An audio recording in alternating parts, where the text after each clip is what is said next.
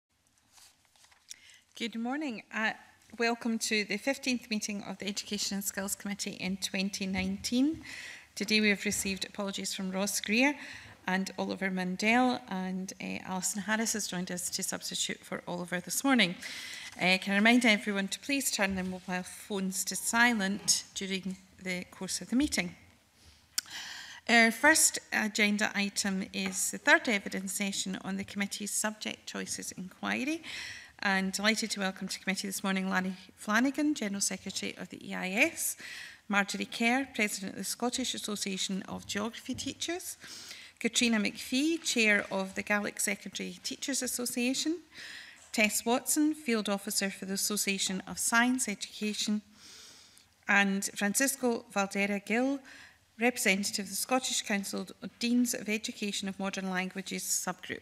Uh, very warm welcome to you all. Um, I'd just like to open by asking you just to, to give a little bit of flavour of, um, I know we have received submissions, but a little bit about um, what your experience of the, the new curriculum has been. And I'd like to open with Ms McPhee.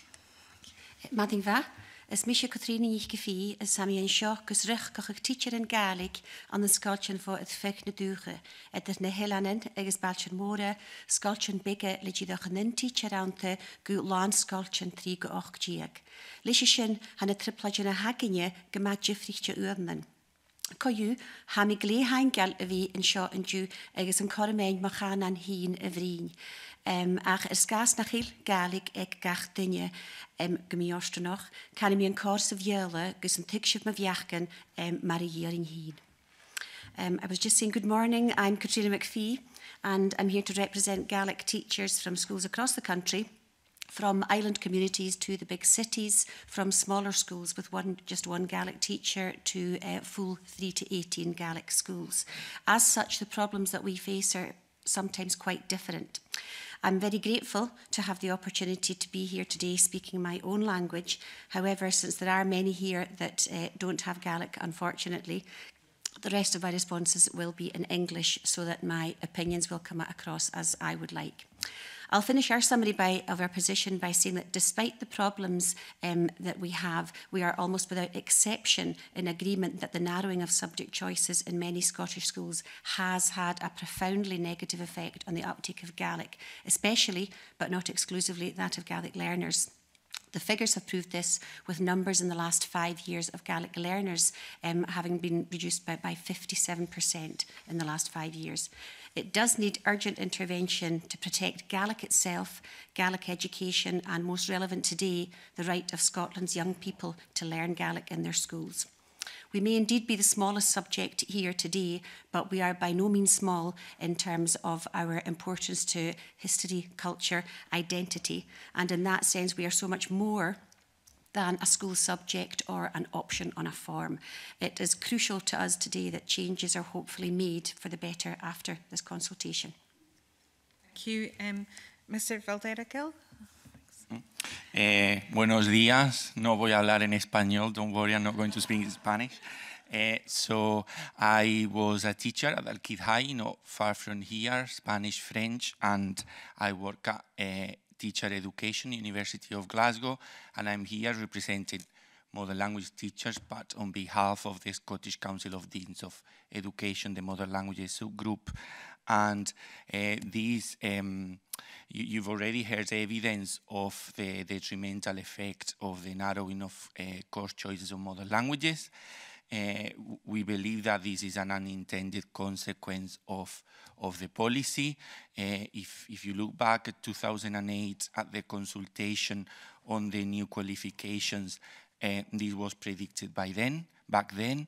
Um, some councils put um, anticipated that that could happen to modern languages with uh, the reduction of course choices in fourth year. And um, I, can, I can cite um, Eh, evidence from a, from a 2018 paper um, says that EU comparisons, UK provisions for modern languages education is poor, with only 5% of students studying two or more languages, compared to the EU average of 51%. This is Eurostat statistics for 2016, and the highest percentage of students in upper secondary school, 57%, who do not study a language. This is UK for nations, but you've already seen evidence that in Scotland, 65 there's been a 65 downtrend in uptake of languages in, in S4. And I think, as Katrina has said, this is about uh, positioning ourselves as an outward nation in the light of the dangers of Brexit. And this is not just the numbers of subjects that pupils taking fourth year, but this is the wider implications of building interculturality in, in our nation. We're not saying that we're the only subject which does that in modern language, in, in, in the curriculum, but uh, language is a more tangible expression of identity and for people to show uh, that approach towards the other. So it's, it, it's really important, and I'm very thankful for the committee to have invited me to represent the views of modern languages teachers, uh, because the morale uh, is low in modern languages amongst modern languages teachers. Thank you. Thank you, Ms. Kerr. My name is Marjorie Kerr. I'm president of the Scottish Association of Geography Teachers. Um, we are an entirely voluntary charitable organisation with a membership of around 600 geography teachers throughout Scotland. Um, personally, I've been a geography teacher for 38 years and seen many changes in the curriculum during that time. Um, I started off teaching O grade, um, saw in the changes, moved to standard grade and was actually part of the CFE pro process um, as a member of the Geography Curriculum Design Group. Um, I've also done a two-year secondment in Education Scotland where I was a social subjects development officer and at the moment I'm principal teacher of geography in a school in Dundee so I feel I do have a wide um, breadth of knowledge to talk about subject choice. Um, as an organisation, when we heard about the subject choice inquiry, we did as we have done before and conducted a survey, and many of you have probably read the results of our survey. Um, it was not a good time of year for teachers as they were involved in setting and marking prelim exams.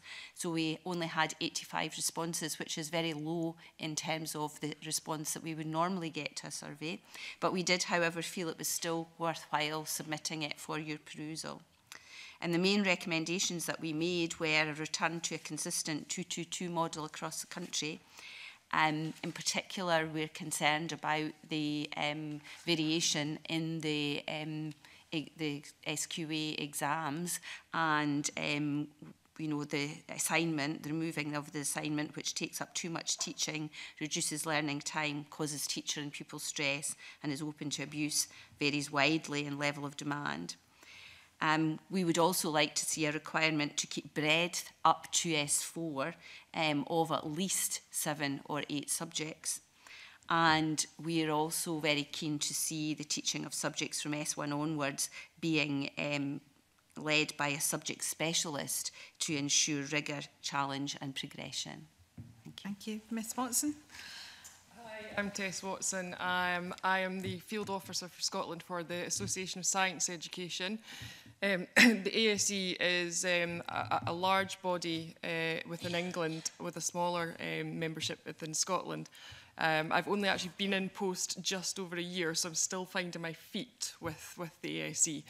Um, I'm involved with a number of talks with other learning societies, um, the Royal uh, Society of Biology, Royal Society of Chemistry and the Institute of Physics.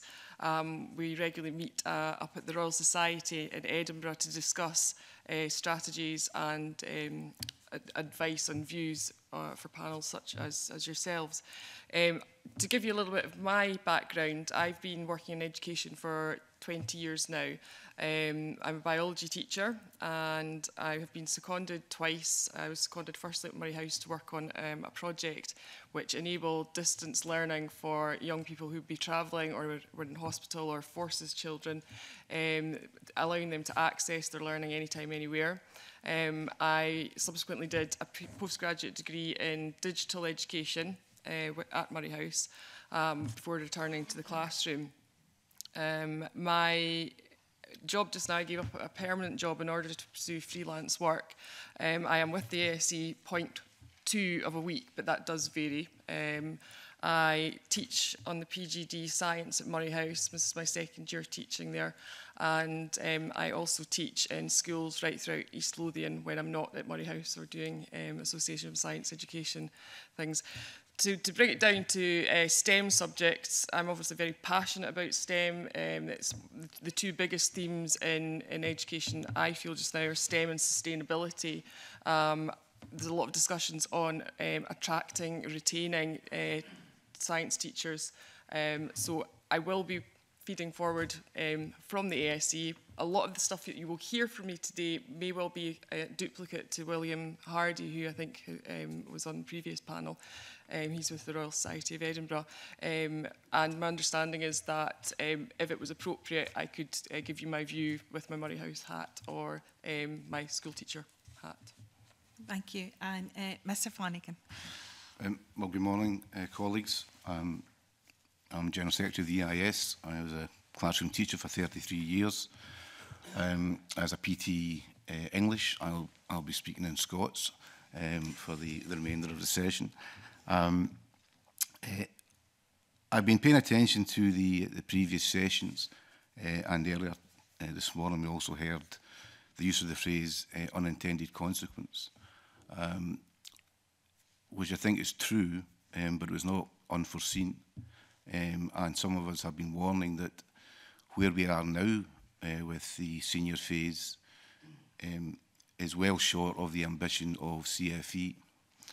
And that ambition, when it was articulated, was around maintaining breadth across the, uh, the senior phase of the school, creating space for depth of learning, because that was one of the criticisms of our previous system, that we got kids through exams, but we didn't actually give them the depth of understanding, which were linked into the skills of the 21st century that uh, eh, OECD were advocating um, uh, jurisdiction should engage with uh, and also in particular that there should be parity of esteem between vocational and, uh, inverted commas, academic.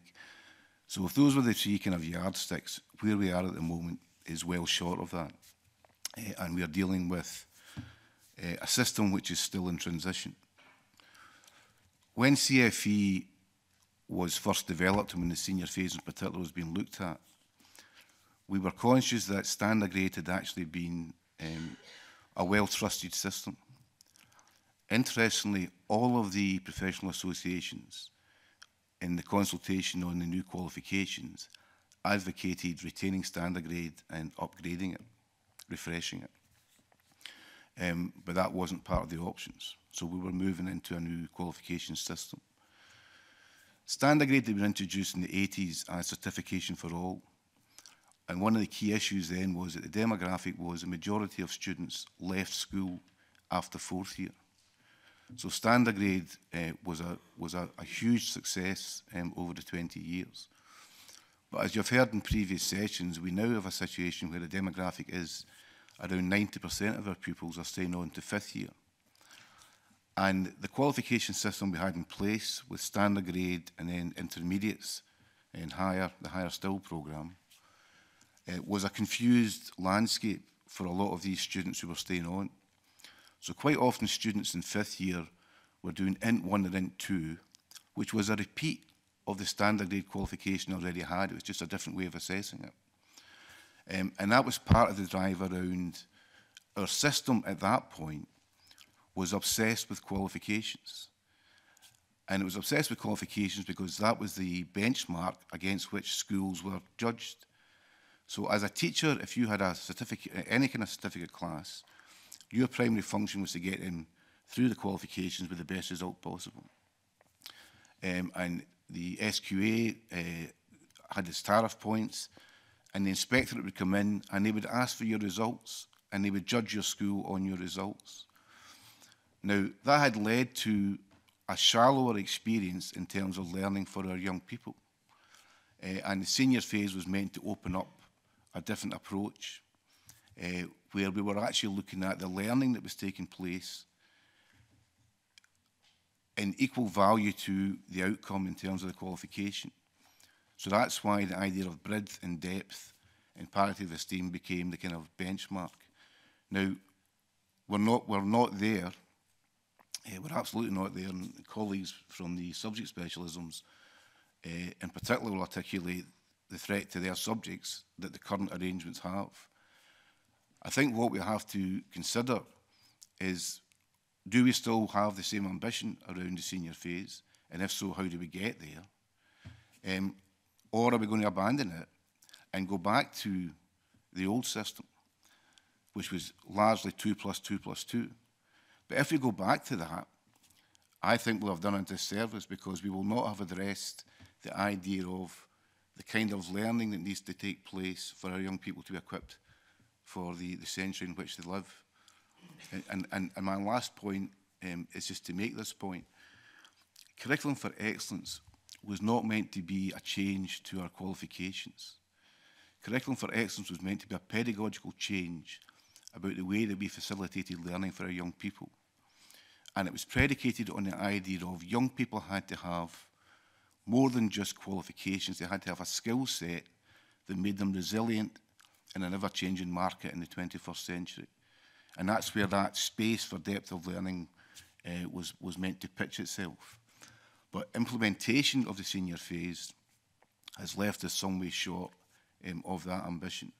Uh, and I think if we're looking at subject choice, we also have to look at these, big, these broader uh, objectives and put subject choice into that particular framework. Um, and I'll leave it there because I'm sure there'll be specific questions to follow up.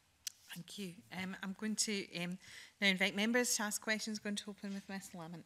Okay. Um, thank you very much. I've already found everything that's been said um, very interesting. One of the areas that I am interested in, I think Larry Flanagan kind of highlights this dilemma about fourth year for a, for a generation of teachers who taught non-certificate classes, who therefore got no resources, who got basically nothing standard grade was a liberation and it wasn't really the credit kids, it was foundation general because these were young people who were now being treated sufficiently seriously to have an external examination.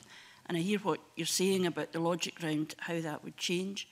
But I wonder, first of all, do you agree that is a concern that for a lot of young people there is no external examination and therefore there are consequences in terms of the resources that goes to them? And last week we heard from um, on the issue of looked after children, 75% of whom leave at the end of fourth year. And unless we go along with the Tory position that everybody has to stay in school to their 18, I think we'll always be young people who want to make that choice. Some of them are not, you know, it's their, con their circumstances perhaps, or an active choice. How do we ensure that there is something um, in the system that, that externally validates young people who will be leaving at fourth year? That kind of the best of what standard grade was. How do we address that when I recognise the young people will be staying, in some circumstances, staying on to sixth year and really end up not doing terribly much in that time that's progressing and, and deepening their understanding?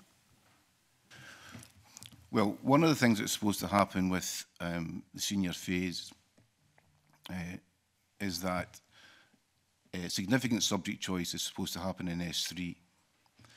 Now, that's not the reality because the majority of schools still do subject choice in S2.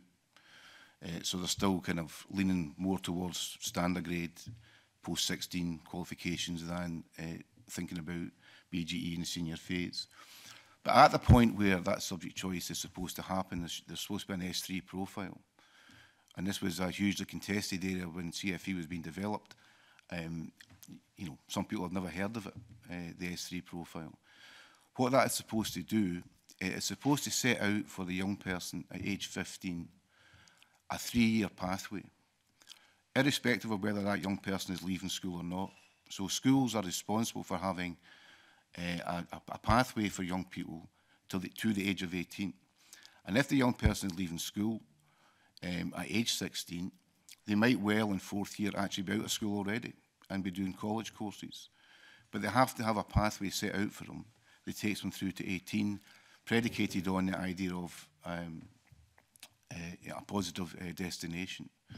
Now, within that, I think, uh, and I understand the point, there's still a debate, uh, you know, around N4 and whether it should be an external qualification. But for a lot of the young people who are leaving, um, that's not necessarily the, the qualification that best suits their, their career intentions. So in colleges, for example, a lot of the courses that are offered uh, many of them SQA courses, don't have external qualifications. They're internally validated within the college, uh, and the college uh, validation process is then moderated by um, SQA. Uh, so if they were doing an apprenticeship, for example, there's not an external exam around an apprenticeship. And if that's the best pathway for a young person leaving school at 16, then I don't think you should artificially have uh, an external examination attached to it. Um, That's not to say I don't think there's a debate around N4 because that's been part for the last 18 months. Um, and, you know, within our members, there is divided opinion. A lot of people think an external exam would give N4 uh, eh, added uh, validity in the eyes of parents and pupils. Um, I certainly think the N4 has to have at least two levels of pass because a minimal pass, which is the current arrangement, is actually a, it's, it's a general grade 4 um, whereas before we had general grade 3 and 4, and they were quite different. If you had a grade 4, you did uh, an int 1. If you had a grade 3, you did an int 2. So a, a threshold past the N4 is not a good preparation for N5, for example.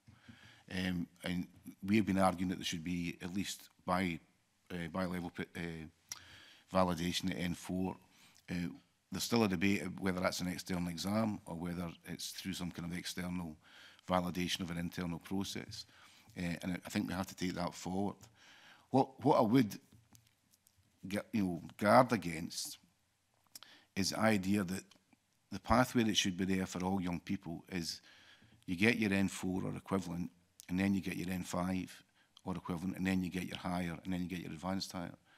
Um, we do support the idea of schools, for the majority of people should be focusing on exit qualifications um, and working towards making sure that that depth and breadth is there around the exit qualifications.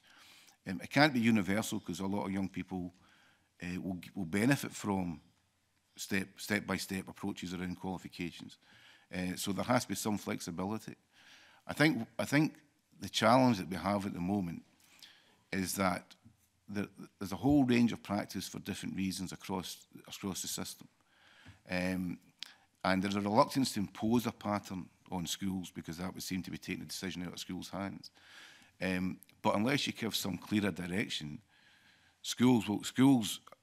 by and large have been uh, attached to the qualifications pathway model. Right? And there's been no drive from anyone to move away from that. Education Scotland, up until its recent reboot, basically shied away from the question. So, so for the, the five years that we're introducing these new qualifications. You couldn't get a statement from Education Scotland to say you should think about bypassing, right? Because they just let the system run uh, as it had done. Uh, and that's one of the reasons why we're at this kind of crossroads. Uh, I think from here we have to think about how we move forward. Um, and I don't think we move forward by moving back the way uh, in terms of you know the standard grade practice that was there, uh, despite the fact that that was probably our most successful qualification for the last 40 years. I suppose the question I'm still wrestling with myself is this question of equity, because there was a change in schools at the point where schools had to take seriously youngsters who were doing foundation in general, had to put resources into. The young people got to go and study leave. They were, you know, they might know themselves what the different abilities people had, but that sense of being part of the same experience in some ways to me was That's a very important. And I, I don't know if you share my concern that some of the evidence we've had suggests that those who are most disadvantaged are more disadvantaged still now under what's happening, whether it's intended or not, but what's happening um, in the process. And that's why I flagged up the issue of looked after children, because if 75% of looked after children are leaving in fourth year, that is not because all of those young people would more appropriately do a vocational course or go to college is because their circumstances have led them to be in a position where no matter what their academic ability, they're not able to make that decision to stay on. And I wonder whether, is that an issue? And how do we address this challenge of the people who are going to get five hires, make it five hires anyway, and what you do with the middle, there's all sorts of arguments about depth. But there are, a, I think, a group of young people who are not being served well by that the process and how do we deal with that because I think I'm a bit worried I have a concern that there's an almost like a, an HR convenience model coming through that if you want to create space in the curriculum these are the bits of the system that not really address the needs of all that many but I think a particularly important group that then allows them to do other things how do you manage that so it is genuinely being driven by educational need and interest and ability rather than some kind of management process? I think there is an issue there, um, and N4 is an interesting focus because it's kind of cusp between the expected norm. So level three by the end of S3 is the minimal requirement. The ambition is for most people to be at N, the N4 equivalent, CFE level four by the end of S3. But below N4 we have N1, 2 and 3, and they don't have external exams. Uh, eh, in the old system, we had access one, two, and three, and they didn't have inter internal exams. And these were all designed to meet the needs of students for whom external exams were an added pressure uh, and could actually debar them from getting a qualification. Now, around the N4, uh, eh, we do have this kind of uh, dual target group. There are people who are doing N4 um, as a stepping stone to N5, and there are people who are doing N4 as sort of plateau of their, their school achievement and looking to then map into other qualifications. Uh, so I, so I, I mean, I, I don't diminish the debate around it because I think it's a very real debate. Um, I, I don't think N4 as it currently stands, currently operates, um, is a good progression route to N5. Um, I do think if N4 has been used as a, a eh, an exit qualification uh, for young people who are going on to different pathways, uh, then it can be made to work. Um, and I don't think the absence of an external exam it eh, should be the default criticism, because it should really be about what are the assessment needs of those young people. But at the moment, we're trying to deal with a quite a, a wide range of uh, requirements around what N4 is doing, and I don't think our current model um, is straddling the two ambitions, which is why I think the the discussions, are, and I, th I, think there is a meeting coming up in a couple of weeks to kind of revisit uh, eh, N4. Um, I think that's it's quite important because I think um, for young some, for some young people, uh, the N4 um, is almost an incidental stepping stone, um, which doesn't actually prepare them well, which is why you get a lot of N4 candidates who don't get their N5 because they actually haven't, you know, they're, they're borderline N4 passes rather than aspiring in five passes. So I think that's that's one of the uh, kind of wicked issues that we still have to resolve around how these qualifications work. Specifically in the question of a group like looked after children, what do what do we do about that? I mean, that if, yes, most young people will now stay on to sixth year, but there's, there are young people who are disadvantaged in the system already. What do we do to the, the how do we address that question? So within the, within the look after and accommodated children, um, there's a wide range of ability. So the, you know, the kids in there who are uh, perfectly capable of getting higher, whether they choose to do that or not. Yeah. And, and they're, uh, quite often they're leaving school, not necessarily because of mm-hmm. dissatisfaction with the school, but because of personal circumstance. The school has a responsibility to have a three-way, a three-year path line for those uh, young people. Um, and if uh, n 5 for example, were an appropriate qualification for that pathway, then they should be looking to make sure that those young people are going to college to achieve that. Um, if N4 was, it, was it an appropriate pass, then what is the next step after N4? Because there's no point saying N4 should have an external exam if that doesn't make any difference to the next step for that young person. Um, I think the reason that uh, around the issues around looked after and accommodated um, are less to do with uh, the qualifications system and more to do with the social circumstance in which we actually support young people, some of whom will still be very vulnerable, uh, through to the age of 18, um, you know, when they'll be, well, they're making their own decisions at 16, but, you know, when they were um, uh, less supported by the, by the system. Yes, thanks. Convener, um, just a, a brief um, question on that, that line of questioning. We, we know that um, some um, pupils in less advantaged areas are only being offered a subject choice of five at higher.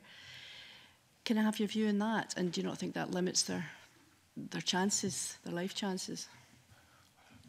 Well, at, at higher, um, very few schools will offer more than five hires um, as a subject choice because higher in the previous system and for most schools in this system is a one-year course. And you cannot fit more than five times 160 hours into a school year. So if schools are offering six hires over one year, they're creating an impossible burden on young people. I, I didn't, that's, I understand why you're saying that. I didn't frame the question properly. There, there being, that's the, the, the senior phase limitation of their, their choices. It's not necessarily just for hire. Well, um, No, that is that is ridiculously narrow. Um, and six subjects in S4 um, is, is narrow as well. Um, the, so the issue is how you overcome that. So you, know, you, you can overcome it by going back to a 2 plus 2 plus 2 model, or you can do what some schools are doing and actually planning across S4, S5 as a two-year course. If you do S4, S5, you have eight columns So, sorry, I was at school timetabler as well, so you know you may have to suffer this. So you have you have eight columns, and you can offer eight subjects. Um, now I would say not not eight qualifications, but eight subjects, um, and that's one of the ways that you were. It was intended that breadth was maintained, and if you do eight subjects across two years, then you have more than 160 hours to complete the course. I think I think we're just into double figures the number of schools who are doing that because most schools, primarily because the change from standard grade to N4, N5 happened over a summer, most schools simply replaced standard grade with N4, N5 and maintained their curriculum timetables because that was the only way that schools could cope with it and it was the only way that pupils could cope with it. Um, so we got off to a bad start in terms of you know, looking at curricular structures. And I think it's only now you've got SQA in Education Scotland uh, and Scottish Government um, saying that, saying the, the same thing around exit qualifications and looking at a three-year experience, um, which I think is the way forward rather than you know, reverting to a, a model um, which was designed for a different age. Thank you. Yeah, Mr. Fadell, and then I'll come to Ms. Kerr. into jo Joanne Lamont's question about uh, looked after and accommodated children and, and them being disadvantaged in schools. I, I, also had many hats. I also was uh, acting deputy for a year for pupil support. And I think there are, eh, is what Larry was saying there about the range of practice and the clear direction and every school doing what they can. But there are, there are schools that have alternative curriculums where these pupils who have a lot of social emotional problems, they are looked after within the school in another way to help them stay in school. So is is is is is looking at what these young people need at that time to support them. So um, in the school where I taught, we had about 200 students doing an alternative curriculum paths since second year and this was done in, in, in, in conjunction with, with social work. So there are, there are places around the country that would take a different approach. But an issue is, and, and again, is linked to what I was saying before, is and, and part of your inquiry is the multi, is the multi-level teaching. When you have classes of national three, four, and five, and um, the the pressures on attainment, because very often the, the very often pupils and management take uh, choices of putting courses into the choice based on the attainment of, the, of those courses. So this has an impact on teachers that very often concentrate more on national five students, whereas national three and national four maybe they're just um, maybe not so much resources put into them. So um, just before I went to university, I had a national four, five, higher, and advanced higher class, all in the same column. So the, the, there are teachers preparing for, for four classes uh, for the one class. So this has an effect on, on the children that are most disadvantaged. So I, I know people will come on to this question in more depth later, but do you think that's a particular issue for modern languages? it has been a particular issue for modern languages since the since modern languages in fourth year stopped being uh, compulsory. Um, in the school where I taught, we had seven fourth year classes in 2013. Attainment was very good, 14, 15. Parents got letters saying, we really advise your son or your daughter to take a national five in French. But now there's maybe one class in one column that has students from S4, S5, and X6 doing National 4, 5, or higher in the same column. So the fact that there are is, is that is that dilemma in between the range of choice and uh, and what schools can do with the resource and teachers that they have. So in some subjects, this has an impact where you've got a lot of different levels in the in the in the same class. Your sense that that's increasingly the norm. So it's not just about managing shortage of teachers, but it's freeing up space in the curriculum. So, well, it's now become accepted we can have multi-level in French, and that just creates space elsewhere for other subject choices. I, I, I think it has in, in, in languages it has come to that because it has stopped being compulsory and also because if you're only taking five, six, or seven subjects, the, the one that has dropped the most in S4, 65% by SEAL statistics has been mother languages. So um, that's what, you know, that, that's the dilemma I had uh, as a teacher, you know. Uh, there's three kids that want to do national four, so teachers would say, okay, I, will take them, because otherwise you know that these students are not um, are not going to study the language. So it, it, it, eh, the issue has been the narrowing that students have less can take less less subjects. Miss Kerr, you wanted to, and I'll, I'll come to you, Ms. Watson, in a minute. Uh, yeah, uh, there was uh, just a couple of things so far that have been mentioned. We've talked a little bit about the National Four course and how it's not um, certificated. One of the issues that we feel is that um, parents are not well enough educated yet on the courses that are being provided. So Um, we find that in some schools that when pupils are asked to do National 4, um, the parents won't accept it for the reason that there is no qualification because people have still not got um, sorted out in their heads how the new qualifications work. They think that you have to have an examination at the end um, because that's what employers want. And there's still a fair bit of education, I think, to go on, not just with teachers. I think they know what they're doing, but, you know, with parents. Um, for instance, in my school, we have pupils who maybe get 20% in a prelim exam, and we say that not, they will not manage to pass a National 5 examination, and yet the parents want them to sit that qualification. Nibble? Mm -hmm. yeah. And would, you, would the solution, therefore, to give them confidence that to externalise then for itself? I think there has to be something done about it to make it um, a more realistic qualification. Yes, definitely. And um, the other thing I wanted to say was that, I mean, the whole thing about the um, BGE and senior phase as well has was done the wrong way around. Um, people thought it was a good idea to start in S1 and change the curriculum up the way. You were changing things for first, second and third year before we actually knew what the new qualifications were going to be. Um, so you didn't really know what was ahead. Um, and so that made it extremely difficult.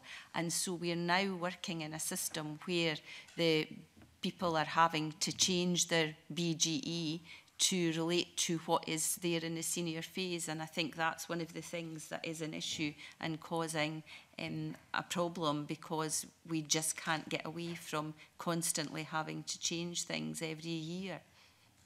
Ms Watson? I just want to come back to the point um, uh, you raised about looking after and accommodated children. Um, my feeling, uh, absolute gut feeling, is that these youngsters are only in school for eight out of 24 hours a day, and there's only so much that as, as practitioners that we can do. Um, I think early intervention is, is the key to this. Um, youngsters that I've seen go through secondary school, if there's been early intervention at primary school, the success rate of them staying on and gaining further qualifications is far more likely. understand that, but nevertheless, despite that, and of course you'd want to make sure that all young people achieve their full potential, but there are, there are simply a, a, um, st stats that show 75% of young people who are looked after end up leaving in fourth year. And in order to not reinforce further the inequality they face, um, I suppose my question was whether the way the current curriculum is set up is compounding the problem. And that is that we, if you have a system that's predicated and been there for three years, and you can establish that there's a significant group of young people who will not be there for three years, whether we want them to be or not, how do we not make it worse for them by having a system that doesn't acknowledge that they're going to go at the end of fourth year? I don't, I, I, I don't know how to answer that question actually because I, I don't have an answer on that accept it's, it's far beyond just the curriculum. I suppose my question, I think we probably rehearsed it fully, was just whether what we're doing is um, amplifying some of the inequalities when there's some things we could do to actually help diminish it. I think, I think if we were actually looking at um, you know, the three-year plan for young people, that would be a significant improvement on the previous system because understand grade, a lot of these kids would have left at the end of fourth year as well. And as soon as they were out the door, the school was finished with them. Now, that shouldn't be the case now. The school should actually have an interest in those young people for the next three years of their lives um, and try to ensure that they're on a, a pathway to a sustained, a positive destination. So I, I think the, I mean, I, I understand the problem you're highlighting. Um, I don't think the qualification system is making that worse. In fact, I think there, are, there is potential within the system for a better arrangement than we had previously. Um, because a lot of these young people in the past wouldn't have left with, with uh, you know, high level standard grades. They'd have been leaving with foundation awards. Um, and as soon as we're out of school, school was finished with them. That's not supposed to be the situation now. So there's at least some scope for, you know, looking at the issue more positively.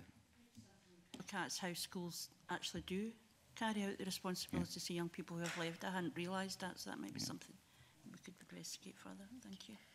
Um, I'm going to go to Mr Gray.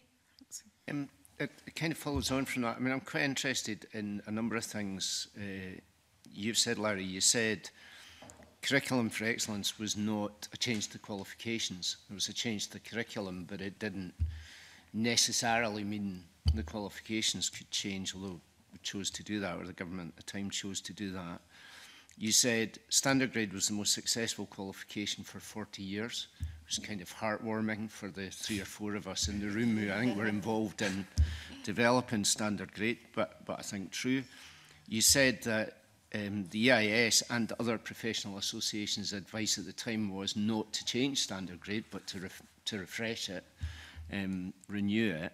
And we also know that the change that has been made to qualifications, and we've heard this evidence this morning and other days, is having unintended consequences, including potentially squeezing some subjects out of the curriculum and out of schools altogether. I just and I understand why people want to say we should move forwards, not back, but is that not a pretty powerful argument for just saying we've made a mistake here? and actually we should go back to something that, that worked so well. Certainly at the round table that the committee held with teachers in Fife, that was generally the view that they took. Well, I suppose it depends on whether you think in 2020 um, a solution from the 1980s is appropriate. Um, we are, our, you know, I think we're all on board with our young people uh, are facing challenges beyond school in the 21st century that you know we didn't face when we were at school. And that was what underpinned the idea of the curricular reform, was the fact that we had to have, you know, and it's, it's a very, it's a, bit, it's a bit clumsy to talk about 21st century skills, but it was this idea that um, it's not enough just to have qualifications. Young people are not going to be in jobs for life. They're going to have to be adaptable and resilient. Um, and our system, which was predicated on qualifications, it was being criticised for not delivering on that broader agenda. So we had universities saying, kids are coming up here with A passes and they don't know how to learn. Right? Eh, and universities running first year remedial courses to try and get kids into learning skills. So that was the kind of context we were looking at.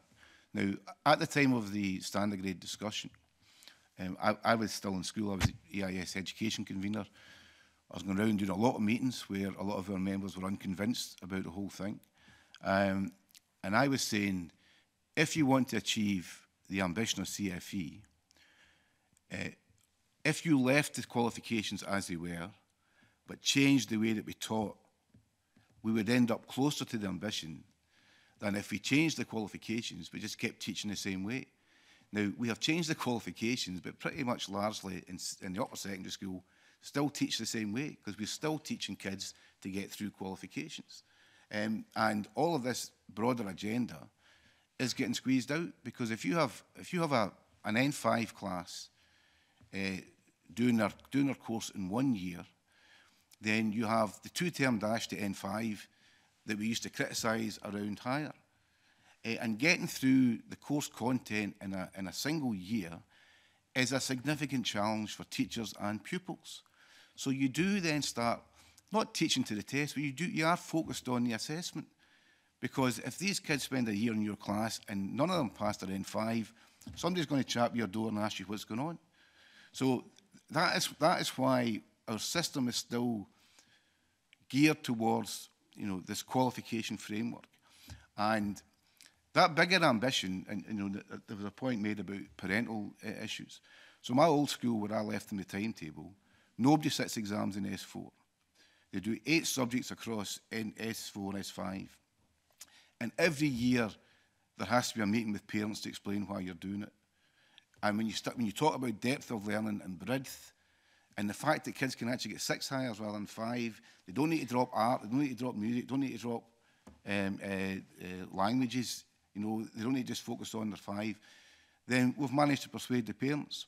But The majority of parental opinion still thinks in terms of their own experience, which is qualifications. Um, so you know, I'm really tempted in to say, right, let's just go back and pretend it didn't happen, right? But, but it has happened. And actually going back to that previous system, we would end up in a poorer place. Because one of the huge criticisms I would make of SQA was they were charged with designing in the new qualifications the best of standard grade. And the best of standard grade was no one fell through the net. So because kids sat Credit General, General Foundation, um, across grades one to seven, they all settled, got a qualification. That's why it was certification for all. Part of the, the, the reason why schools are reluctant to embrace the two-year courses is because you then have to make sure you put kids into the right course, right qualification at the end of it. Otherwise, you know, as, as happened in Hermitage, Kids will sit higher exams and have nothing to show because SQA did not design fall back into the system. N4, N5 uh, and higher uh, are all discrete qualifications and if you sit the wrong one, um, you could end up with nothing, which is why a lot of schools like to get money in the bank in S4, get your N5 done, uh, at least you've got that to fall back on. let, let me come back to that in a second, but I'm quite interested to hear what the other how tempted the rest of the panel are to say, let's just go back to standard grade. I wouldn't be much as though I do think it did work. I, I agree with Larry wholeheartedly that the world is not the same and we would be doing our young people a disservice if we went back to a system where we're using different skills, different um, abilities, experiences by far. So although it is tempting, it, it, it would be unfair to them because they are not the young people that, that existed 20 years ago.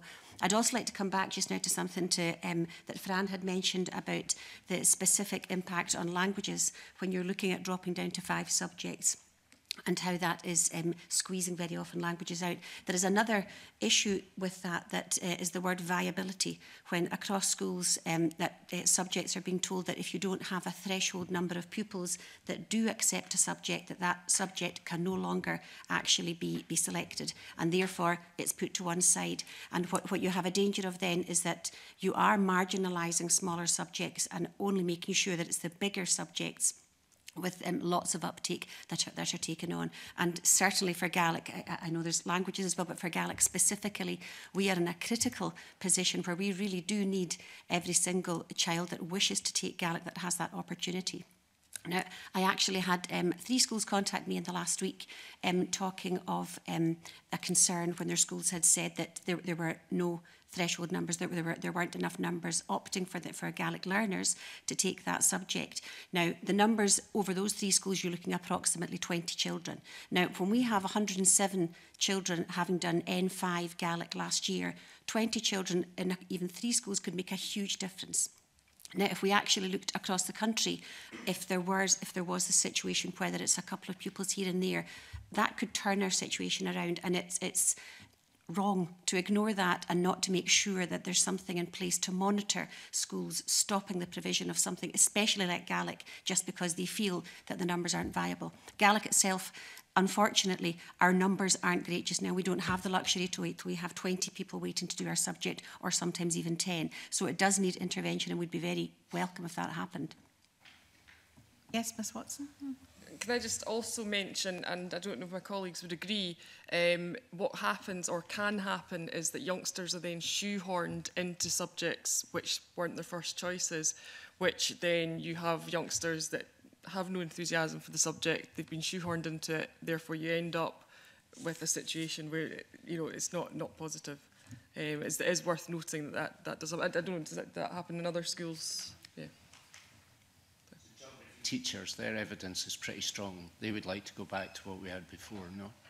Well, not necessarily um, go back to the old standard grade system. I think one of the things is that, I mean, we're now being asked to be far more creative in the classroom and um, we're being asked to do things like cooperative learning. We're being asked to teach the pupils skills um, so that they're more able to um, be part of society.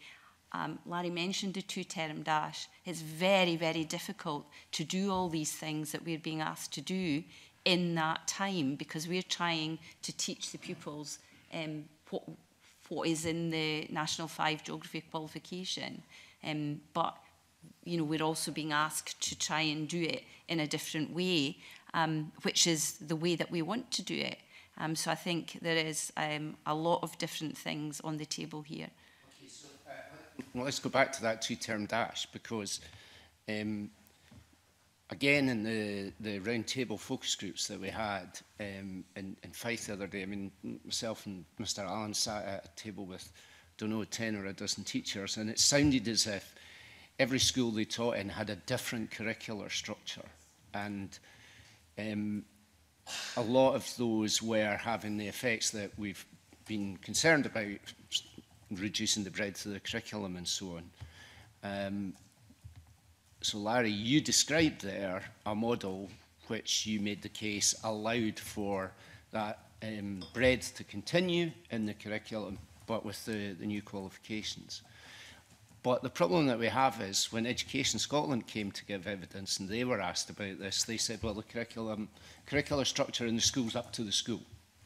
That's empowering schools. That's So the result is that apart from a handful of schools, it would appear decisions have been made which have actually narrowed the curriculum. There's only a handful of schools, you said maybe less than double figures, who've actually found a curricular structure that makes this work and maintains the breadth.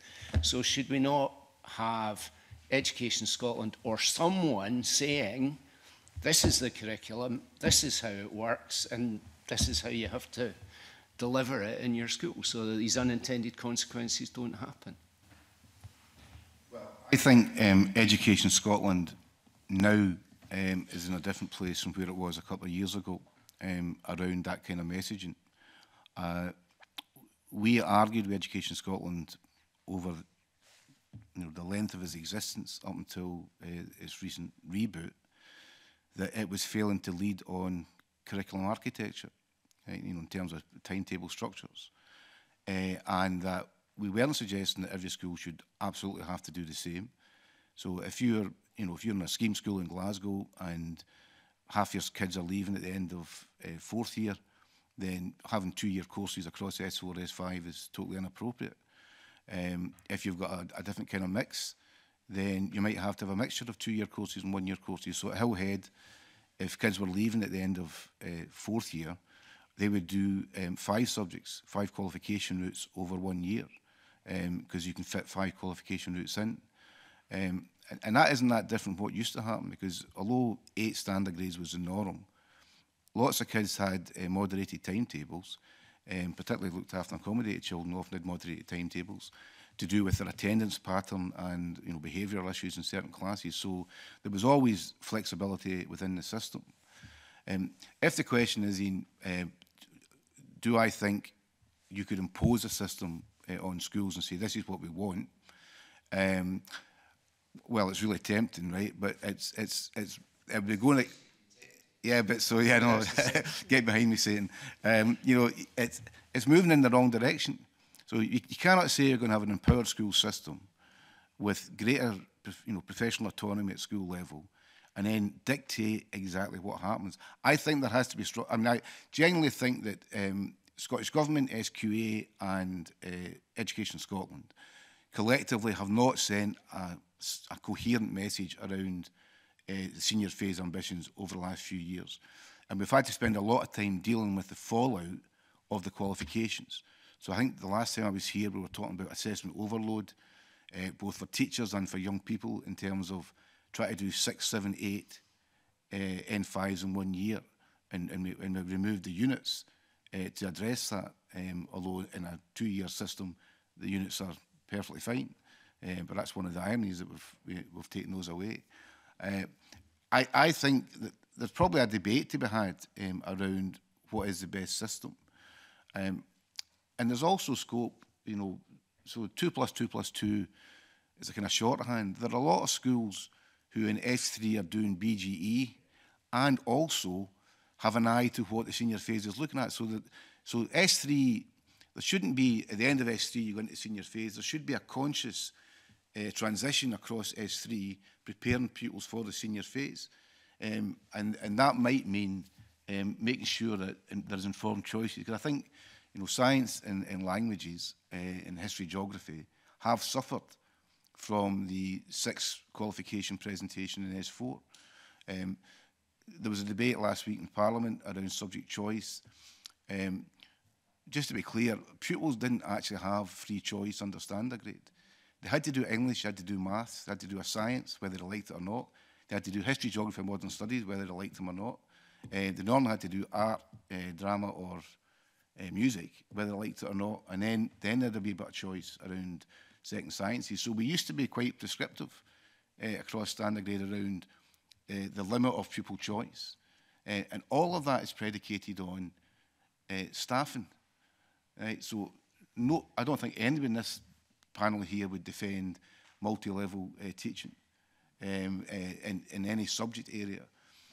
The reason it happens is because in physics, they want to run advanced higher physics, so they put the kids in with the higher class because otherwise No timetable is going to timetable a class and a teacher for five pupils. Right? Or they're doing, they're doing higher N5 in the same class because it's the only way they can actually get to a viable class size.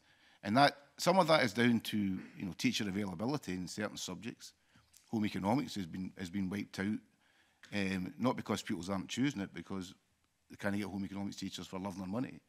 Um, but in some cases, it is down to the school having to make choices around how it allocates its staffing uh, eh, pro rata to the number of pupils. So most timetables won't put a subject on the timetable unless there's going to be a minimum of 10 pupils in that class because otherwise um, they're losing staffing elsewhere and that you know cuts the so you know so in a in a grand sense all of that is about resources but that issue around resources and class size has not come about because of the senior phase because it was there before uh, when you're looking at intermediates and you're looking at hires. You still had to have viable class sizes to run them. And, and I know Ross isn't here, but his issue around schools that serve uh, areas of multiple deprivation have fewer choices. That's absolutely true, but it was true before the senior phase uh, as it is now, um, because the class sizes in the, in the upper schools, in those schools, uh, the, the stay-on rate is, is lower in those schools. Eh, so you have fewer pupils, eh, which dictates the kind of eh, subject choice you can offer them. Could I just come in quickly just to reiterate what, what Larry was saying about staffing? That staffing is one of the biggest issues that concerns all our members at the moment um, in different ways now that there are some schools that have not replaced teachers for countless lengths of time. There are ch children sitting not being taught by, by specialist Gaelic teachers. So th this is a huge issue that needs to be, to be looked at. Um, other than that, you're looking at the issue of staff um, to be trained in Gaelic um, medium or Gaelic learners teaching when we have less people coming out with Gaelic um, as the years go on, we're going to have a smaller skill set as the years progress. And we need to make sure that the staffing, if there are any gaps in staffing, if there are any lacks of, um, uh, lack of teacher training, this needs to be looked at so that we do have staff and that schools and authorities actually employ teachers the minute there is a gap. Ms. Coruth. Thank you, Convener. Uh, good morning to the panel. And uh, just to let members know, I, I did previously in a, in a, prior life used to work with Marjorie Kerr at Education Scotland, just uh, for the record. Um, Larry, I want to go back to your point about uh, ambitions being missed around about curriculum for excellence. Um, and Marjorie, I note in the uh, SAGET submission you speak about a return to the 222 model. Um, and I saw a tweet from Seamus Searson, uh, who's the General Secretary of the SSTA last week, who tweeted that it was time for two-year courses, which sounds to me like a return to standard grade. And Larry, in your submission, you talk about the IS being of the view that the structure of the senior phase is mostly unchanged, and we've had that discussion already this morning. Do you think going back in time there was perhaps a cultural resistance within the secondary um, teaching population to change the way that we do things from standard grade because it was thought at the time that curriculum for excellence was perhaps more suited to primary? Um, I think Seamus's comment is around two-year courses across S4, S5. because I've had that discussion with SSTA. Um, there was a, a cultural resistance um, uh, because, you know, as I said earlier, teachers had become used to a system whereby uh, they were validated on the basis of how well their kids did in qualifications. So we'd had two decades of uh, the uh, SQA uh, league tables around how many hires you're, you're getting, the transition from S4 into, from your standard gauge into hires. So our, our whole system was geared towards um, pupils achieving qualifications. And then we were trying to switch to a new system and we literally went from the new qualifications arriving in school um, post-Easter uh, for implementation in August. Uh, and no one spent any time uh, actually trying to discuss with schools what the change was. So the whole focus of schools was on um, how we minimise the change that's required you know, to deliver new qualifications uh, and ensure that pupils aren't disadvantaged by being the first cohort. So I, I described the model that we had in Hillhead. At one point, over half the schools in Glasgow were asking me to come out and speak to them about that model. And in the end, we were the only school that did it because the timetable was such that the only way schools could cope was by and large to stick with their current curriculum architecture and just change the change the qualifications. And people worked really, you know, teachers worked really, really hard over those first three years to make sure that young people weren't disadvantaged. Because when we introduced higher still, we did have, we did have young people being disadvantaged by the change. Um, So I, I would say that we, you know, collectively, we didn't take the time to actually get the message out into schools, um, which is why this thing was around. I mean, the point was made earlier around BGE coming in. I, I saw in one of the space reports, I think it was saying when CFE was introduced in 2010, and you're going, no, it wasn't. That was when the qualifications changed. CFE was introduced well before that, but people still associate CFE in the secondary school as I was I had changed how I taught my higher because of CFE long before that, the, the qualifications changed. But we really missed an opportunity now. Why did that happen? Um, so I don't want to fall out with him, but it was because of the political noise around the qualifications. We were pressing uh, Mike Russell, who was the Cabinet Secretary at the time, for a, a year's delay in introducing the qualifications. Um, there had already been a year's delay a couple of years before that. Um, you know, to put it bluntly, uh, Mike got a kicking around the previous delay, you know, about why we're delaying these reforms. Um, the CFE Management Board, uh, with the exception of myself, uh, unanimously recommended that we should proceed with the timetable. SQA said it delivered the qualifications, which it had. You know, they, they were there uh, on the shelf. Um, And none of the political parties would support a delay. Right? Tavish flirted with it, right? but in the end, uh, didn't, didn't go with it. So there was no political will to delay. Um, so schools then had to cope with that's goodbye standard grade, hello, N4, N5. Um, and it's honestly only now that there's been a bit of heat taken out of the system that we're actually starting to address that missed opportunity. So that's why I think we are at a stage where, well, we need to decide, do we still have these big ambitions? Uh, and how do we move forward towards that? Um, because, you know, we made, we made a mistake collectively as a system. We made a mistake in the way we introduced N4, N5. That has created some of the issues that have now been faced um, around subject choice restrictions, which weren't built into the system. And that's why I said they were unintended, but they weren't unforeseen because um, people talk about 160 hours of notional. If you're a timetabler in a school, 160 hours is not notional. If I timetable a maths uh, higher class and give them 100 hours, there'll be a delegation at my door saying, we can't deliver this in 100 hours. So 160 hours is what's needed to deliver the course. And you cannot fit, you can't even fit six times 160 into one year. The only reason some schools are doing that is because they're starting them in the middle of May right? Kids finish their exams one day and start their new course the next day. It's the only way they can technically suggest a six um, times 160. So, so we've got a, you know, we've got a situation which is clearly unsatisfactory, and what we need to decide, which I think was actually the gist of uh, Lizzie's motion last week, um, how we move forward from where we are, um, and you know, kicking one another over how we got here isn't going to be that helpful. We just really need to think about what is the next step and how do we get there.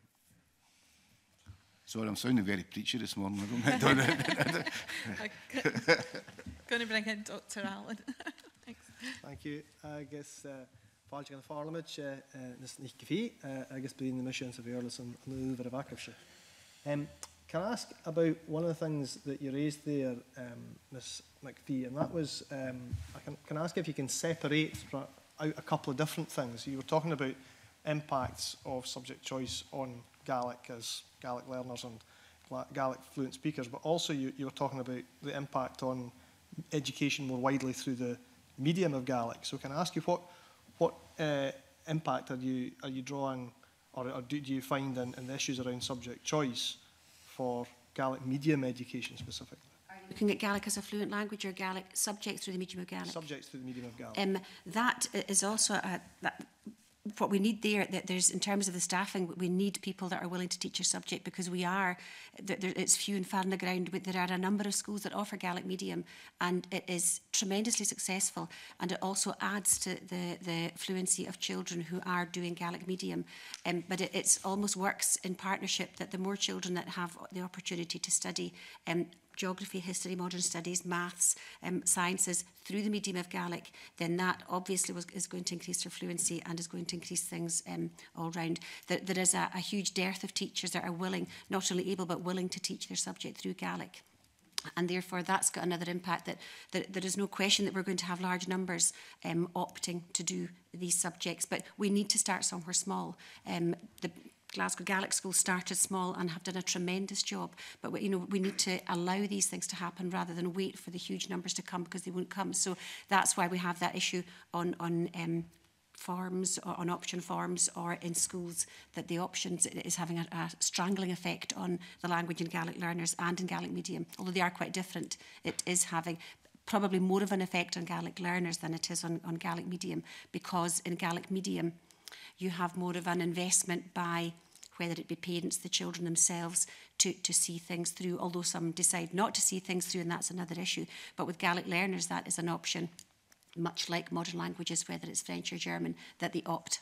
Um, and if something is not in a form, then they're not going to choose that if it, if it only appears once in a form or the numbers aren't large enough. Does that answer the question? It does. I spoke when you when you uh, I speak um, when you're talking about options and forms from the, the rather eccentric position that when I was uh, in second year at school, I drew an extra column on my choices and wrote Gaelic in, but it wasn't available.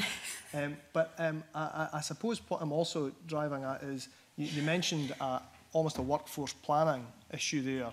Uh, how quickly do you think there would there would be a visible impact on some of the problems you've described with um, that workforce planning for the future, for the availability of Gaelic medium teachers? um, were there not um, something done about this acute problem that we're facing just now around Gaelic? Yes, almost instant. There are teachers there. We, we, we, need more teachers, but there are teachers out there. There are teachers that are available for jobs if they were advertised. That are, uh, what we don't have is people that are perhaps, especially in the more remote areas, they do tend to suffer more because if there's people off on, on, sickness or illness, there's not so much supply cover there. But there are that the, um, people have been making a tremendous effort to boost um, uh, teacher training and numbers coming out, and that has seen a turnaround. So we do have teachers out there. What we need to has is, is to have them in classes uh, with children in front of them actually teaching. Until that happens, then they can't impart their knowledge and, and um, have the Gaelic developing in that way there. So it could be instantaneous if everything work together and, uh, and um, things work to plan and you have a teacher in front of every class, every child that wants to learn Gaelic.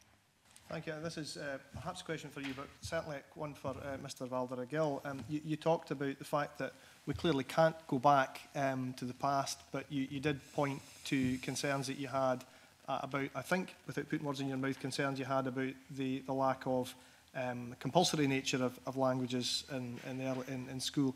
So Where does the solution lie in your view? Are you advocating something around subject choice, or are you advocating something around compulsory subjects, or, or where does the solution lie? I think um, I wouldn't advocate for compulsion. For compulsion, um, for um, I think uh, making place in the curriculum for it to happen. So if if if um, the the course choices were not five, six, Eh, a modern language could still be a viable solution for many students who want to study it.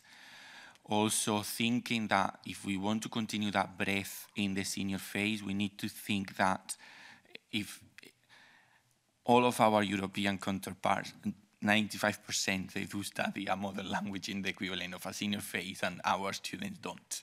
So if we still want to say that the senior phase has breath modern languages needs to be there. For me, there's two big, big issues. Is the lack of understanding, although it's very clear in policy, CFE, principles and practice paper, uh, CFR at a European level, of the role of modern languages, the role that is plays for literacy. To me, that is not um, totally understood by the profession. I, I work in teacher education. I also work with uh, teachers delivering the one plus two. And I can see that there are schools in Glasgow that are most deprived, the ones or that tend not to do the mother language, and that's a double whammy for children, because there are 4,000 words in English that come from French. So, you, and, and, and it's through the learning of a language that our students are exposed to that. So for me, there's the issue of the literacy, and also um, Larry and Katrina have talked about the the lack of alignment of curriculum, assessment, pedagogy. This is not only an issue for Scotland, this is an issue for every nation, so it's not just us. But um, thinking about qualifications in the senior phase, um, if I look at France, if I look at Spain, they're teaching languages through content language integrated learning. Uh, IDL is one, is one of the contexts of learning for CFE, but once we get into the senior phase, that's forgotten. So the IDL happens in first to third year, maybe or maybe not, but once we go there, it's not happening. There's no, there's no reason why the mother language could not be part of another qualification.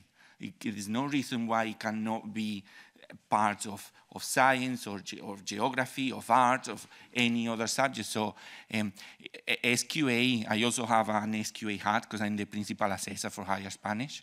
Um, so SQA has done this for the baccalaureate, where they where students, but it's taken by a very minority of students, but we could build on that and think that um, there are other ways of enabling enabling young people from S4 to S6 to take a language. Um, there's a job to be done, but um, um, there are there are other ways if the curriculum in S4 cannot be changed. And finally, again for yourself, uh, one one issue that's been raised in the past with us, or certainly been raised publicly, is about the question of whether people who drop a language in second or third year are then taking it up in fifth or sixth year, and what, what are the issues around that? I think there is a, there is a notion uh, in the four nations of the UK that people are just bad at languages. There's also the difficulty or the thought the myth that a language is more difficult than another subject. It is not. Uh, but whether we like it or not, that is a, a myth that people live with and that gives them makes them not take not take the subject so the reality is that if students do not follow it up some of them might come back but they don't so that um, there's no reason why um, the students, I mean, in 2000, I've provided statistics, in 2011, 2012, there were 28,000 students doing, um, doing standard grade French. We've got 6,000, 7,000 now. So there's no reason why these students could not come back in S5 and S6 to do a national five or a higher, but they don't.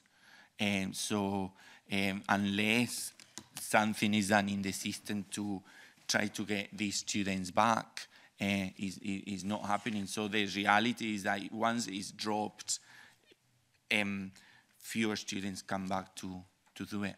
Although it's not to say that they cannot come back. And certainly that assumption that you have to have a national, that, that progression of national four, five, uh, higher or advanced higher, there, there are students who, have, who can crash a higher course without having done a national five, but this doesn't happen very often. Uh, so uh, I think uh, there's work to be done in schools to convince the population and manage their expectations that languages can be done, uh, but um, the system has not allowed for it either. So it's a combination of both, I think. Thank you, you wanted to come in. Did you? Sorry. no, yeah, to go Mr. Flanagan. Sorry. I'm just interested in the, the question there, pupils who drop a language in second or third year. So that shouldn't happen. Right? Pupils are not supposed to be dropping languages uh, until they get to the senior phase. Um, one of the debates around, you know, the, the six subject choices in S4 is that up until the end of S3, pupils should be studying 11, 12, 13 subjects. So instead of going to eight subjects under understand a grade, they're supposed to maintain all their subjects across S1, 2 and 3. Um, with, with some refinement in, in science, for example, they might move from general science to looking at specific you know, physics or chemistry or some, so some refinement is allowed in S2, but, but languages is one of the subjects that shouldn't be getting dropped. So across uh, S1 and S2, 3, the experiences and outcomes apply across the board, except for where there's some degree of specialism with a view to the, the senior fates. Um, so we should actually have, you know, whether it's French or Spanish or whatever, uh, all pupils experiencing that at least up to the end of S3, which should be level three, level four. And the idea is at the end of S3, pupils should have sufficient grounding that somewhere in the senior phase they can revisit the subject um, and have have you know at least a foundation uh, there. If I could just come in quickly with that there, that, um, that what Fran was saying there about um, young people dropping, like them, them especially Gaelic learners, um, does happen, and it's obviously can come in at any point. There's quite a few more pupils that have been have been doing Gaelic medium or Gaelic fluent that do actually come back in at the later school time. The, the point I wanted to make, linked to what Larry was saying as well, though, is that what we have is a very, very a, a system where, where across the nation it's quite set, it's quite different, and that's the problem. We have some schools that do allow um, pupils to opt after S2 some that do that, but they're still officially doing the BGE, some that carry on with the, the whole BGE to the end of the S3, other schools that actually allow um, early presentation where you have pupils actually doing um, their N5 exam at the end of S3, which is great for them. They only allow that, that to happen if the young people are able to do so. But it means we have a system that is, that is so varied across the country. And as they then opt for the senior phase, it's, it's not a level playing field. Miss Watson? Um, Can I just add in one point? Um, it's an experience I've had uh, within the last um, couple of years in a, a school where um, a science teacher was off long-term sick. There are no temporary science teachers out there to come in and cover, so that timetable essentially, the, the BGE classes, because obviously the accredited classes must be seen by the chemists, the BGE timetable um, had all the third year cohort uh, on it. And the uptake for the third year cohort in chemistry going into fourth year was something like I don't, I don't even think they had enough to run a, a class of 20 because of the experience the youngsters have had through no fault of their own, not the department's fault. It's just circumstantial um, with regard to, you know, science teachers. There's not enough of them. So. Thank you. Um, I'm going to move to Mr. Scott. Uh, thank you. Um, if it's any consolation, Francesco, my son's nine-year-old class can all pronounce the Christian names and the surnames of the Barcelona first hmm. team immaculately, as they were doing last night, although they all can sing You'll Never Walk Alone, but not in Spanish. Um, Tess, I, I wanted to ask you just, just in general terms, or if you've got specific data, that'd be helpful in terms of your organisation. This is about narrowing choice. I mean, we'll all, uh, take all the rest of the panel's observations about the wider themes of what's going on. But do you have a sense of what's happening in terms of the teaching of science in the senior phase? what the implications of narrowing choice are. Is that impacting on the choices and therefore the future direction of young people who, as you rightly said, you have a passion for making sure can take science? Mm -hmm. um, I, th I think it, it, there's definitely impact there. There is absolutely. I mean, the specific school, I don't want to go into names, but the department are fantastic um, the, the youngsters that have the subject spe specialists, so if it's a biology class at accredited uh, stages, um, they'll have a biologist. If it's chemistry, they'll have a chemistry teacher, physics, and so on. Um, and yeah, so it, it, it, it, subject specialist it has to be. Um, and I think, I'm not quite sure if I'm answering your question here, but the, the BGE in physics and chemistry, and it's not just, this is quite prevalent in a number of schools where because they can't get a subject specialist in the BGE first year to third year, go on to a non-subject specialist, or if there's no science teacher, it would be just general cover. And that, that experience is directly affecting the pickup of subjects um, across, well, it was chemistry, the particular um, example I was thinking of. Less girls and boys are able to go into the senior phase now uh, who want to take our science discipline than, um, than some years back. It has that narrowing of choice made it more difficult, do you think, to, to pursue a science career? Yes, yeah, absolutely. Um, probably more so with maths, um, physics, and technologies. Um, I think, very sensible kind of collegiate cross-party support for STEM subjects and particularly more women into science and so on and so forth, we're failing because why? We've not got enough teachers or what's your, what's your prognosis as, to, as the main problem? I don't think everyone will agree with me on this, no, but sure. um, I think that the shortage of teachers um, and attracting and retaining individuals in the profession. Um, a figure just out of my head, last year I had 13 PGD biology students at Murray House um, who've all successfully gone on to their NQT year.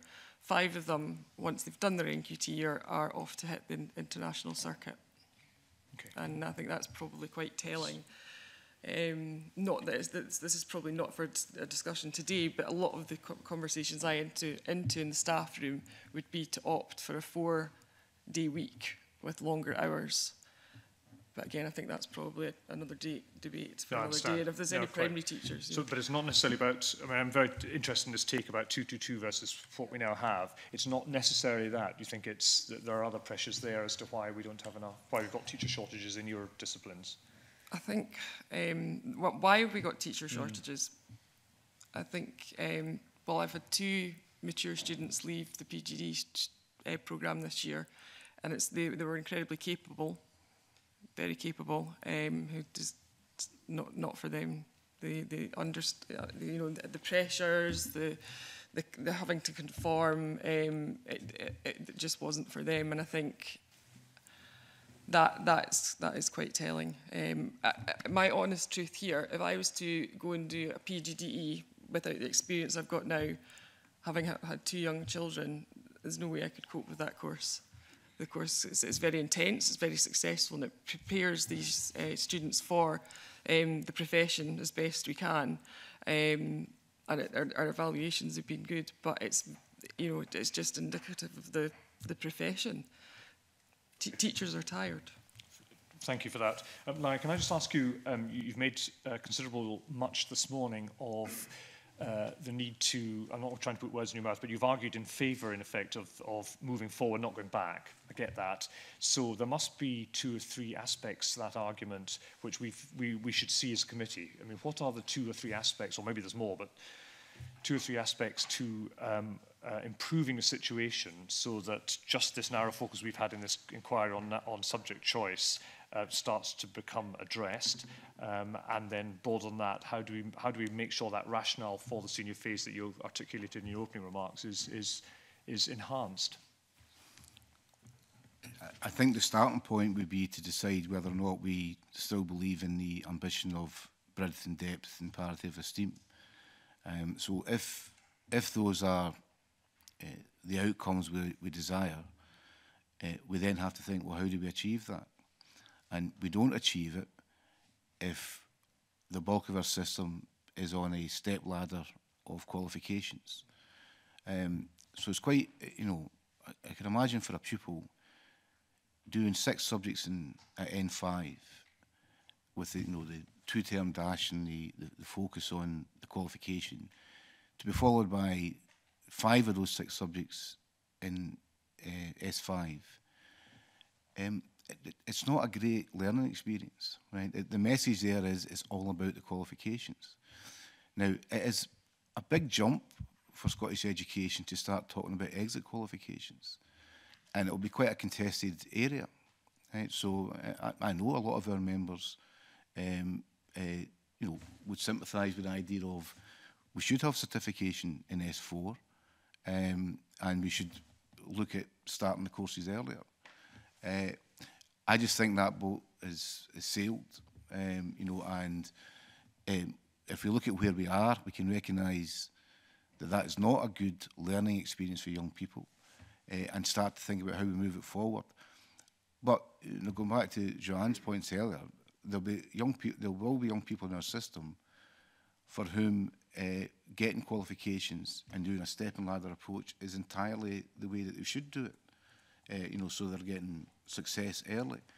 So, so that's asking for quite a lot of flexibility in our system, um, which is what the Empowering Schools agenda is meant to be about. Um, I think what has been missing um, is a clearer articulation around the you know the objective of the senior phase and what we want to see involved in it. Right? So I, I, I think it's appalling that um, you know we have young people who beyond S3 are not being exposed to language. You know, you know how that can be equipping young people for the modern world uh, is beyond me. So I'm not saying we have to make it compulsory, but we do have to have a strong message around schools which are, are accommodating or are meeting the needs of young people will clearly be addressing the importance of language in the 21st century. So I think there have to be messages there. And then schools can look at, that, well, this is what we've been asked to do. Standard grade made it compulsory. Uh, so, you know, they had to do a certain range of subjects. I think rather than saying it should be compulsory, we should be and this is what we expect our system to deliver for young people. And if you're doing a variation on that, That's fine, but justify it in terms of the needs of your pupils. Um, but that, that I think is, and I think it would be great if we could actually get uh, you know, a consensus around those objectives um, and then say to the system, this is what we want you to deliver. Uh, I do think it requires buy-in from all organisations, and that includes SQA. Um, you know, so SQA, uh, if they come here, will tell you they offer a vast array of um, qualifications beyond just um, you know N5, N6, which is true. And if you went to colleges, you'll see that them, those being deployed in colleges, um, not so much in schools yet, unless it's a college-school link-up. But I do think we have to explore that. So you know, languages can be done in, in more ways than just doing an N5 or a higher. Uh, crash course in Spanish in six year used to be one of the most popular choices uh, because um, young people wanted to acquire Eh, you know, that particular language because it suited their holiday aspirations. Um, you know, but, but it, it, it was a valid, you know, legitimate interest. Um, so I don't, I think some of the things we offer uh, don't have to necessarily be linked to qualifications. Um, but that's, that's where we're, you know, I think that's where we are at the moment. I, I think reaffirming the, the objectives uh, and creating legitimate demands around what, you know, the kind of core Eh, eh, areas that we think, think should be in the curriculum. And then beyond that, saying to schools, this is what we expect to deliver, um, and have your story there if you're doing something different. Uh, and I think if schools do have a narrative around why they're doing something different, that's fine. Um, but we want we want to get away from, and this is a big change because there's reference made there to you know early presentation. When when we started doing CFE in the secondary school, we had a huge movement towards kids starting qualifications in S2 and sitting their standard grades in S3. Um, so, you know, a kid who was at school for six years spent five years doing qualifications and one year getting used to the big school. Right? So we're trying to move totally away from that. Um, so that means putting the focus on qualifications at the exit point, you know, thinking in those kind of terms. I still think SQA could do more to ensure there's kind of better fall back in the system. Because I think that is one of the barriers. That the safety nets aren't there, um, you know, to, to make sure that nobody is disadvantaged. Um, so that, that's an area that I don't want to advocate more changes from SQA, but that's certainly an area that needs to be uh, looked at. Bring in, yeah, that's good. Um, we've, we've, talked a lot today about curriculum architecture and, and um, course choice, but one of the things we haven't really uh, touched on, which uh, we feel quite strongly about in geography, is that the way that schools are organised now. And one of the things um, that our members are quite passionate about is the loss of principal teachers of geography. Um, many local authorities have gone over as a cost-cutting exercise to faculties. Um, and so some faculties are um, social, social subjects where um, you may have history, geography, modern studies, RMPE all in one faculty, and the head of faculty is not your subject. So if we say it's not geography because that's what I am, um, instinctively you are not going to give the time to geography as you are to history or modern studies, whatever your, your actual subject is. Um, and so sometimes we find then that there are, if the, the head of faculty is history, there are more history teachers because that's what becomes more popular. And so there's a, a pushing out of um, some of the subjects. Um, and so, you know, that we, you may end up, you talked about having a non-specialist Um, some schools then go over to integrated social subjects, which is again something that we don't advocate. Um, we feel that, you know, uh, teachers should be teaching, if they're a geography teacher, they should be teaching their subject, which is geography. Um, but again, if you've only got one geography teacher in the faculty and five history teachers or whatever it is, um, that's what you have to do. Um, I'm also interested to hear about the fact that you, the STEM subjects are struggling for um, teachers because one of the things that we also feel is that we've tried for a number of years to have geography included in STEM because geography is partly a science subject. There are two parts to geography. There's human geography and physical geography. Um, and we have not been allowed to be part of that. Um, in the new uh, regional improvement collaboratives, for instance, there's going to be um, people who are development officers in literacy, numeracy, STEM, ICT. Um, there's also the two plus one languages. Social subjects gets nothing. Social subjects has been completely pushed to the side and left out. We don't. We have now um, in Education Scotland we have one person um, who is supposedly developing the whole of the social subjects curriculum for the whole of Scotland. So we definitely just feel that we are being, um, you know, marginalised, um, not just by course choice, but by the way the system is um, operating at the moment. Okay. Mr. Valderico? Yes, can I just comment with colleagues here? I, um, from, with my initial teacher education hat as well, I would I would say what I would say the same that Marjorie is saying. Not having faculties, um, not having principal teachers, has an effect on the support some student teachers get when they are out in placement. Um, with, uh, with, with Larry, with the, the idea of having better safety nets in the system for, for, for modern languages. This exists for National 4 and National 5 and still has not helped um, uh, has not helped the case of, of modern languages. So e even if that was there, some, something uh, uh, more uh, radical, and, and I like your idea of reaffirming objectives and what is expected. Um, uh, I'm part of a, of a, of a, a research group in, in, in Wales uh, looking at the, at, the, at the national qualifications uh, and at the, at, and the assessment.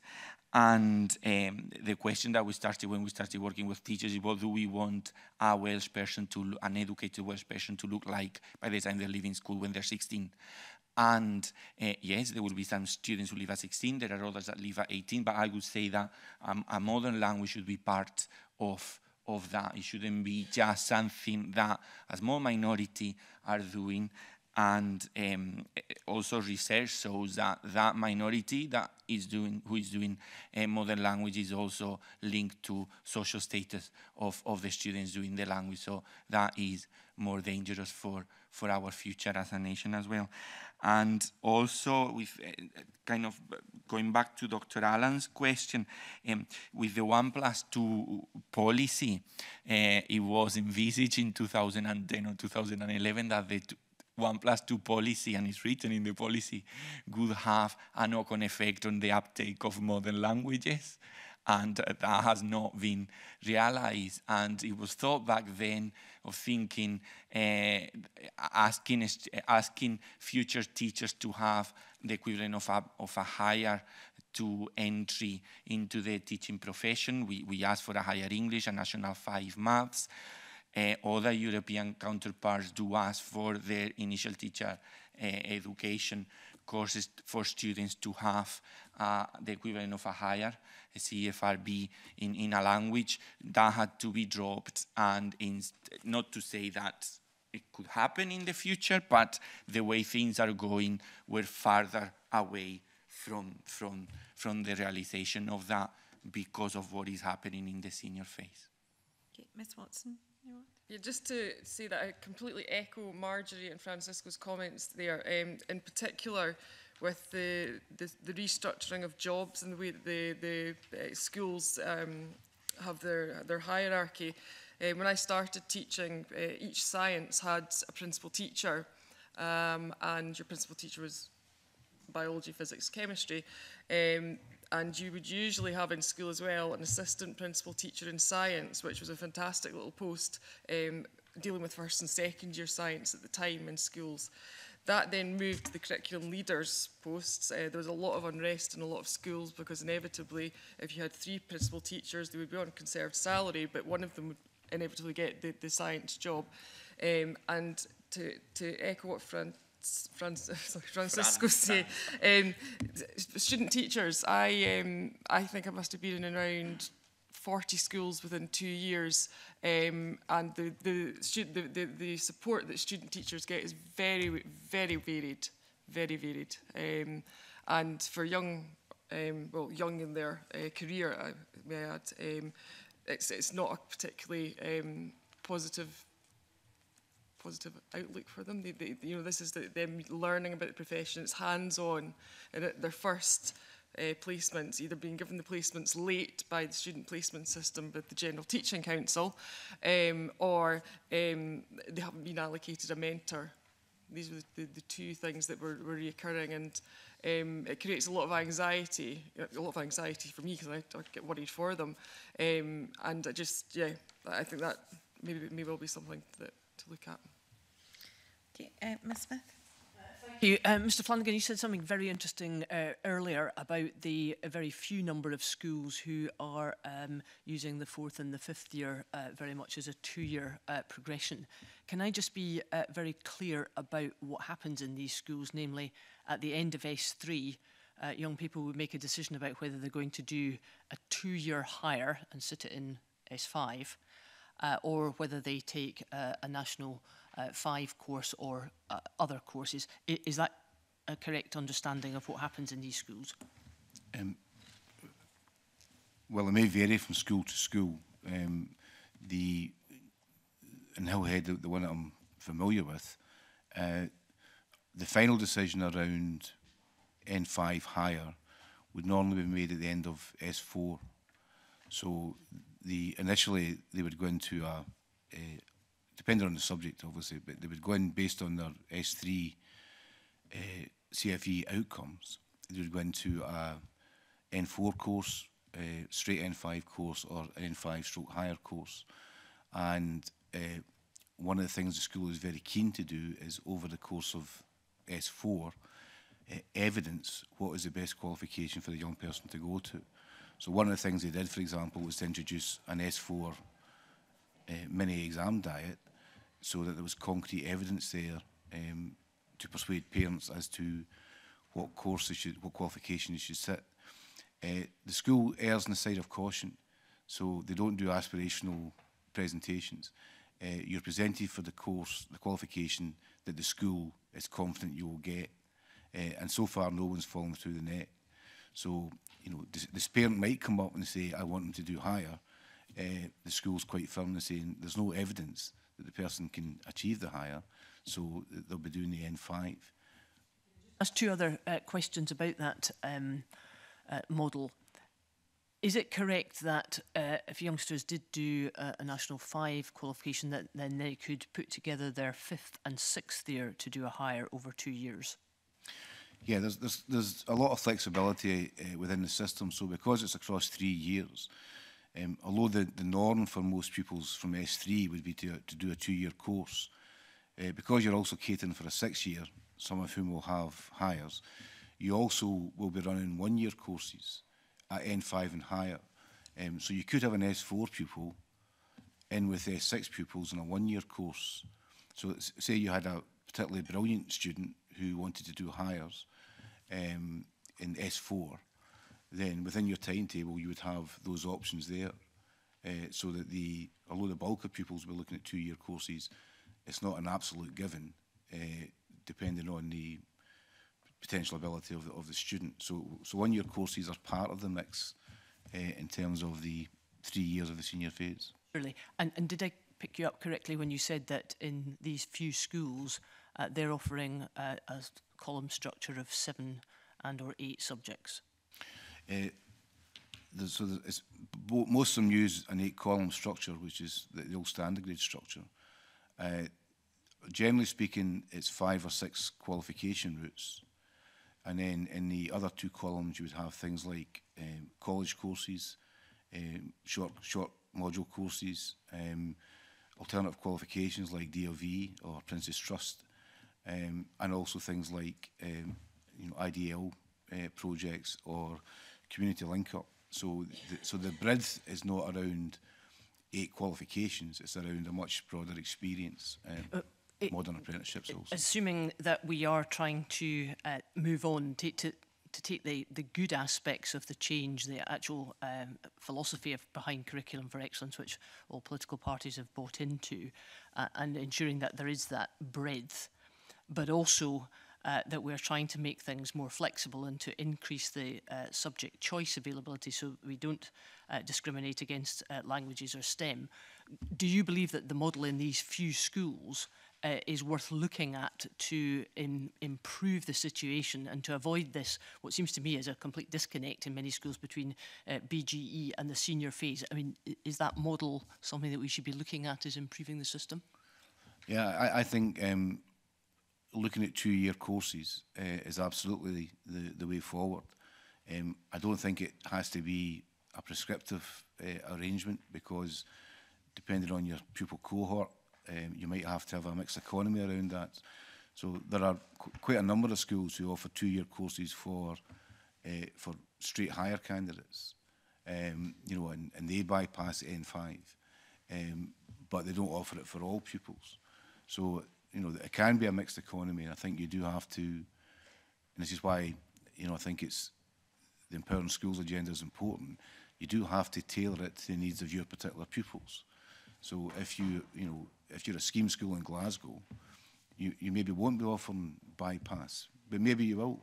Right? So uh, eh, Govan High, uh, under the old system, Govan High used to mix all its post S3 pupils into short one-year courses. Um, and it was all focused on maximising the qualifications for those young people, most of whom are going to leave uh, either in 16 in the summer or 16 at Christmas. So it, it had a particular model for the pupils in the community it was serving. I entirely accept that. I think that flexibility is right, but it just seems that that uh, system that um, these schools are operating does offer greater choice um, within the core subjects, uh, and as I say, not to discriminate against uh, those pupils who feel that they have to drop uh, science or languages because in, in, in the six subject scenario, that's obviously, um, by the evidence we've had at this committee, what's happening. You know, frankly, there are only two choices. Um, either you do S3, S4, and you then maintain, you know, eight columns across those two years, or you look at eight columns across S4, S5 because if, if we're going to have S4 presentations as a norm, then we're not going to get beyond the six subjects. Right, so th those ones who are doing seven or eight are either cheating S3 or they're cheating S4. Um, but that's, that is about all the problems around the two-term dash and it's all about assessment. Um, and, you know, subjects like uh, geography, history, sciences, languages – will be squeezed out um, if, if you go down to five or six choices early in the early in the program. That's why I'm, I favour the two-year course S4, S5, because that's where our pupils are physically now in that in that um, staying on uh, arrangement. And if you think across S4, S5, we can retain um, pupil choice, subject choice in a much more meaningful way um, than the kind of hybrid we've got at the moment, which was just born out of the practical need to uh, make the changes without uh, damaging uh, the pupils' potential uh, outcomes. I, I just think it, it manages to uh, achieve a lot of the objectives that I think we all uh, agree with, that you are allowing greater choice and uh, greater um, individual uh, attention within the curriculum, which is not always the case in some of the um, restricted scenarios that we have. And I think that's perhaps where we should be going. Thank you. And it is the Finnish system, so. Yeah. Yeah. Ms. Watson? and I, I'm sure some of you will be familiar, but um, the National 5 qualification, you can sit units only and you'll still be accredited for that on your final certificate. Okay. Uh, move to Ms Harris. Good morning, thank you. Well, a couple of weeks ago, I asked the panel whether courses were capable of sustaining multi-level teaching whilst maintaining strong educational standards. Now, the answer was really a resounding no, and I know we have discussed on that and touched on this already this morning, but I really would like to put that the same question to yourselves, especially in light of the evidence from the Scottish Council of Deans of Education and also what we've heard from Francisco this morning where you know we're discussing teachers having to teach you know national four, five, higher, and advanced higher in one class. So wh what would you say to that, please? I definitely know. Mm-hmm. The SQA qualifications are not aligned to be taught that way.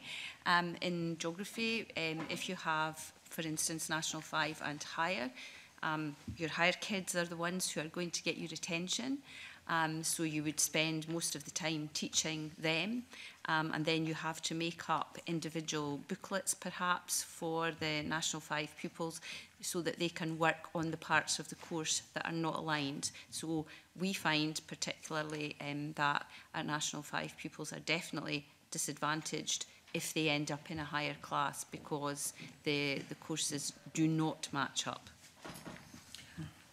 I'm going to be a little bit controversial. now, in, in, languages, the qualifications do align. You're teaching listening, talking, reading, and writing, and, and you can differentiate by level of outcome. So it can happen. Is it for the and, and there are and there are advantages of having higher or advanced higher students in the in the same class. That that that, that was the rationale of some schools putting S4, S5, and S6 students together with the socio-constructivism idea of learners learning from each other. However, it, it requires a level of preparation that at the time teachers do not have. It requires a lot more pedagogical uh, knowledge and understanding in languages, how to make that work. And um, I would say that in the majority of cases, it does not work because once some students get the N3 or, F or N4 qualifications in, uh, eh, we've ticked the box, and then we concentrate more on the students who are going to have the exam in May, which sends a totally wrong message to the students in that class that are doing the national three and four. So um, for, for, for languages, it, it, it, could work, um, but um, um, it is not always for the best of, of, of the students. I could just echo what Fran is saying there that um, it is not, it adds to workload, it adds to planning. Unfortunately, most of, of um, the Gaelic teachers, especially in remote areas, have to accept that because they want they want to teach children. If somebody wants to come, you'll take them in because you're not going to refuse them. But it shouldn't be done for reasons of budget. That's the thing. With, with very careful planning, it might work, but it's it's it's it, it is a huge amount of work and, and it's, it's really not a, a, a, a policy ball. Certainly for languages it, it can work, but it's not something we would advise. The, the advice would be no, try not to accept that at all. But when you're faced with that with somebody at your door who wants to do the language, then you let them in. So it happens, unfortunately, but it's not um, what we would like to see. Okay. Ms Watson? Um, in the sciences, certainly um, the, the continuity of the courses um, has improved since Intermediate 1 and 2. The, the Intermediate 1 and 2 were completely separate courses. Um, but what my experience with bi-level teaching is, as we've said, the workload, the preparing the resources, you're literally spinning two plates at one time. Um, I would say the biggest problem I've actually encountered is this shoehorning of, of students into the class. They don't actually want to be there, maybe the national fours, um, and that then has an impact on this, the children that do want to be there. Um, and it, it just, it's, it's, it's, well, it's, it's money, it's, it's tight, and that's, that's the way it is. I don't know how you deal with that other than recruit more teachers. Thank you very few pedagogical advantages to multi-level qualification teaching. Um, but to separate that out from mixed ability teaching um, in the BGE, because that would be the single and cheapest way of actually narrowing the attainment gap to have more effective multi uh, mixed ability teaching. The challenge in the qualification routes is that, particularly in content heavy subjects, uh, you, you don't have the skills crossover that you might have in language or even in English. Eh, you actually have content which has to be covered. Um, so you, you are effectively running two courses in the same classroom um, with two cohorts or three cohorts of teachers. Um, and it, eh, it does create a workload agenda then for teachers just to be able to cope. But inevitably, it also alters the dynamic in the classroom because you're giving one set of pupils some work to do whilst you teach the other set, and then vice versa. And if you if you don't have an even balance, then the majority inevitably will see themselves as the class, and the minority will feel that they're being tucked in at the end. Um, it's maybe slightly different at uh, advanced higher, because at advanced higher, one of the uh, outcomes is that there's more independent learning on the part of the student. So, you know, advanced higher I, I would run an advanced higher English class in my higher English class because by and large, um, the, you know, they're working on their own um, and you know, it's not teacher led uh, um, uh, learning. Um, but I, I think if if I was to cite one of the single biggest complaints that we've had from members um, around the senior phase, it's been the explosion in uh, multi-level classes uh, with the all the attendant problems that brings. Um, a lot of it workload, but a lot of it just around the manageability of the class and the fact that it, by and large, it is a poorer experience for all of the students in the classroom. Uh, so I don't think anyone would advocate it. It's simply a pragmatic response to uh, the limited resources that schools have to, to run the courses.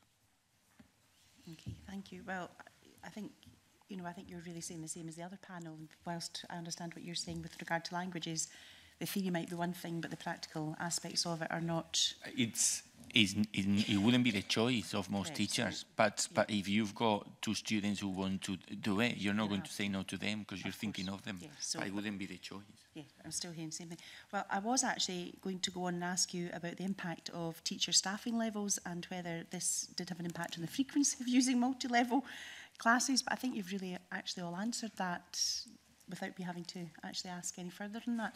But maybe if I could just ask you further, going forward then, do you see a growing a growing need for using multi-level classes the way things are currently with teacher staffing?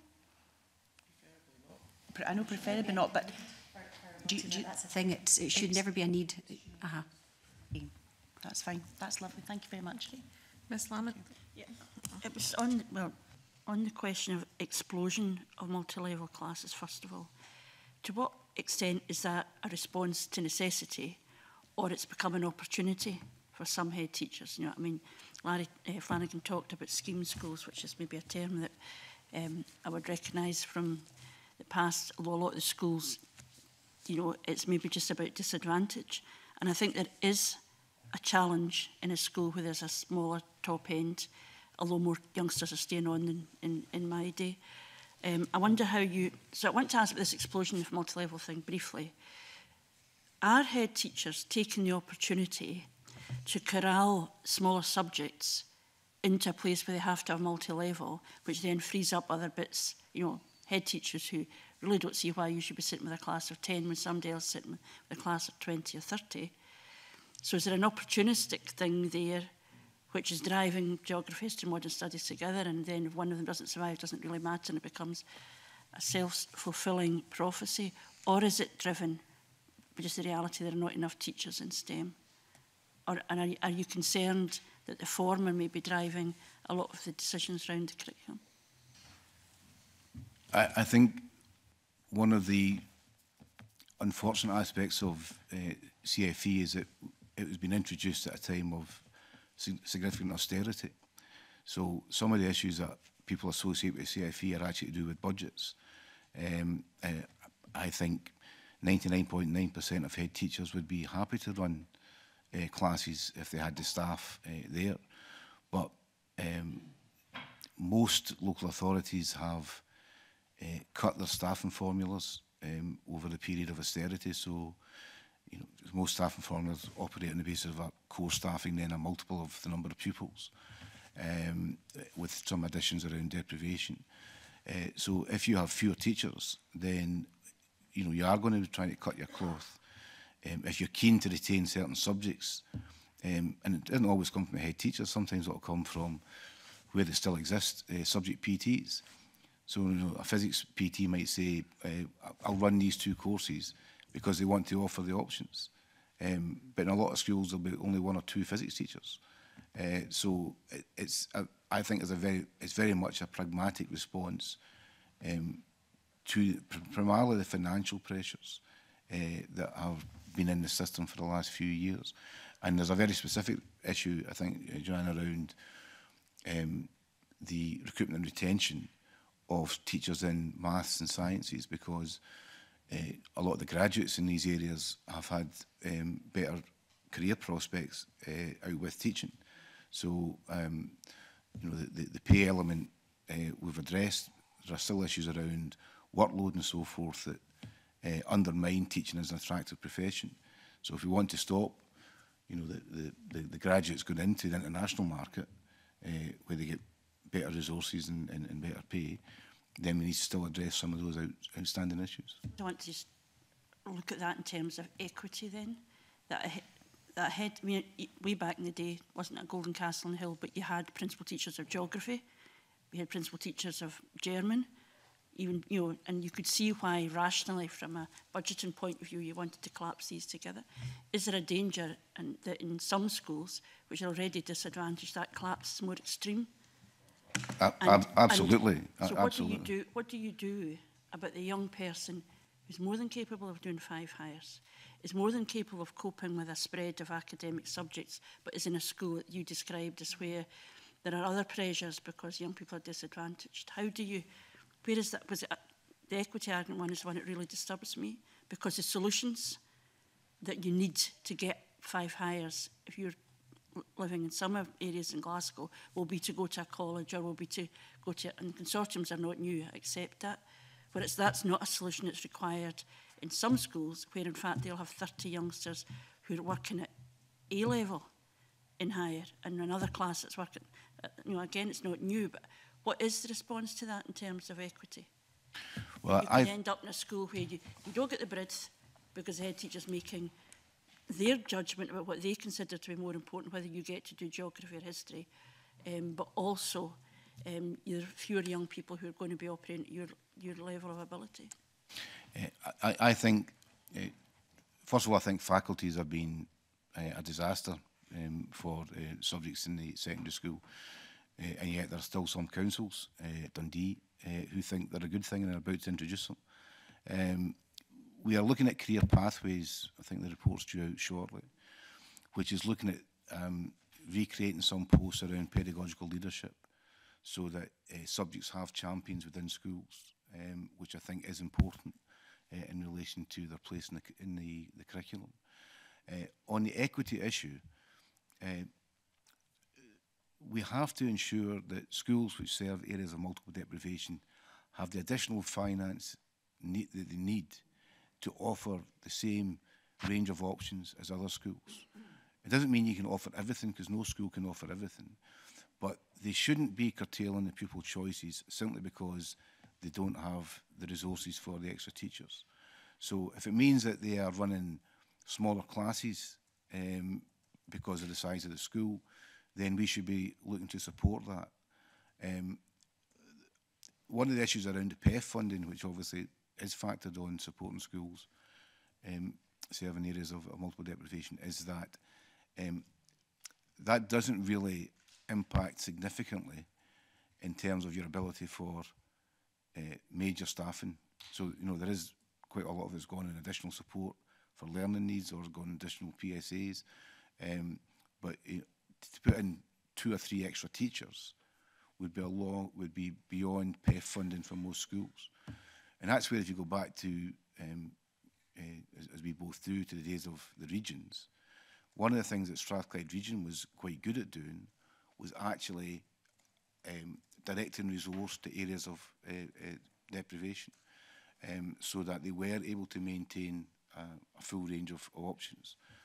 so I, I, think that is a, is a challenge because um, you know, the regions had a, a, an economy of scale that the 32 authorities don't have. But there really needs, I think the deprivation factor in the way schools are staffed has to be enhanced to ensure that the equity issue can be addressed. Can I just ask on that then, is it kind of a, a model of areas of priority treatment, but PEF money rather than being used for extras would actually explicitly been directed towards more teaching and staff and resource in, in schools of deprivation? I would, I would actually take it away from the PEF funding because of you know, the, the nature of that.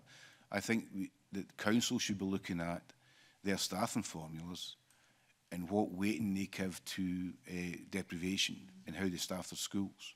So it's about core funding for the school in terms of its staffing structure. Um, uh, because I don't, I don't think PEF, uh, eh, I know we have a commitment for the next couple of years, but I don't think PEF isn't core funding. Um, and I don't think a school should be reliant on PEF for what should be a core service. I suppose what I meant was if the government wants to direct resource towards need in that way, would it be better to stop the PEF process, but actually say this is about core funding, but it's got to be actively used within deprived communities?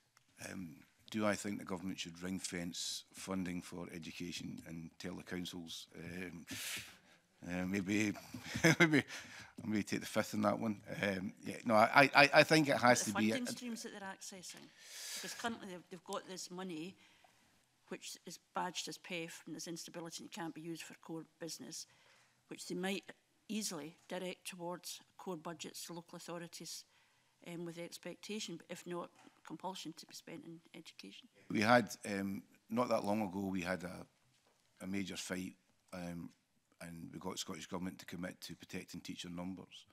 And they ring fenced the money for teacher numbers uh, and then had a major fight with COSLA, who were unhappy at the ring fencing being put in place. Uh, but without that ring fencing, we would have lost teachers.